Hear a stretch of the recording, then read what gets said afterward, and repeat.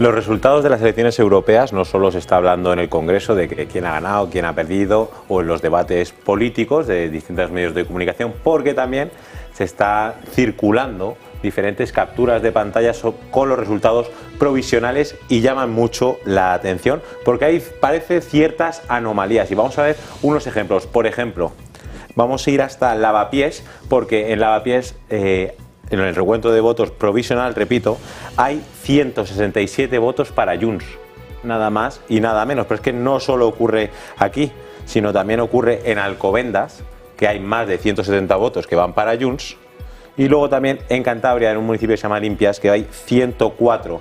Y puede decir, bueno, se alegan que hay errores humanos en el traspaso, a lo mejor en el contabilizar los votos, porque en las listas el PSOE está por debajo de, de, Junts, etcétera, etcétera. Pero es que no solo eso, porque en estas localidades PP y PSOE, en alguna de ellas no ha tenido ninguno de estos votos. Y no solo aquí, porque también en Zaragoza ha pasado lo mismo.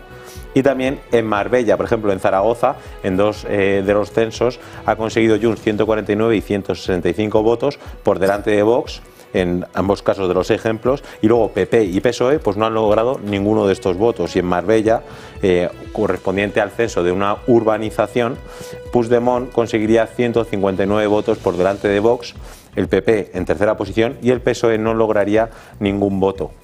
Fuentes del Ministerio del Interior dice que no se puede saber eh, por qué de dónde vienen estos errores, que evidentemente pues habrá que esperar al recuento oficial que comienza el, viernes, el 14 de junio. si lo hace alguien esta vez, sí. Claro que ahí estará presente pues toda la Junta y los miembros de diferentes partidos políticos, pero llama la atención que al principio cuando empezaron a salir estas capturas, que dice, oye, pues errores humanos, pues bueno, todos tenemos errores y cometemos a lo mejor en el recuento de votos, uno, dos, tres votos, pero claro, estamos hablando de cientos de votos y además para Junts, que eh, por supuesto cada uno es libre de votar lo que quiera. Dicho que están todos aquí.